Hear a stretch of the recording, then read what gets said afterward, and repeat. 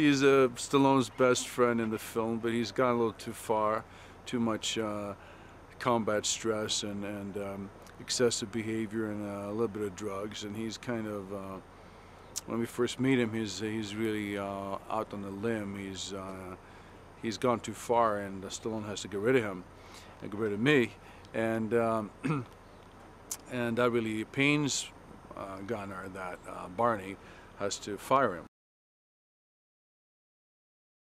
Sly wrote a character that it's very a multifaceted guy. He's a tough guy. He's very lethal and dangerous, but he has like a funny side, a kind of dark sense of humor, and also he's like uh, he's like a kind of a pitiful character in many ways. You know, he wants people to love him, and and um, and that's really why he's doing drugs and, and why he has this big problem. So there's some scenes in there where, you know, I really have to reach down and and uh, try to bring some you know emotional truth to a guy who figures in a big budget action movie, which is it's just kind of cool. You know, it's it's unusual and and it really takes a good script.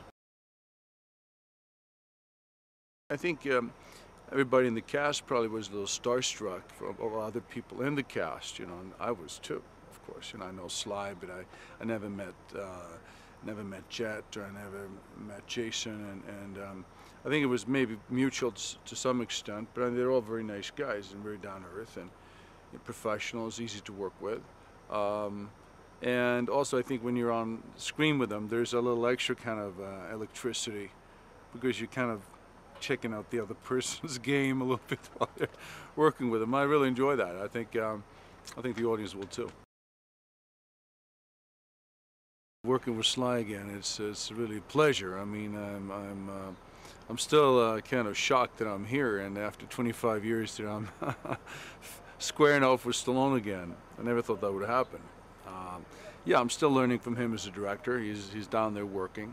And uh, every time I'm on the set, I try to watch how he does things because, you know, I try to direct my own little movies on the side, and, uh, and he's the master. So he's a great guy to learn from.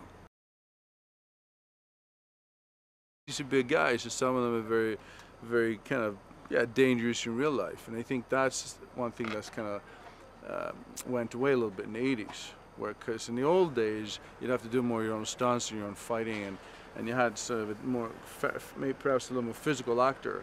And Sly obviously is one of the first ones, one of the originals, and he's bringing that back now and hopefully the kids will like that.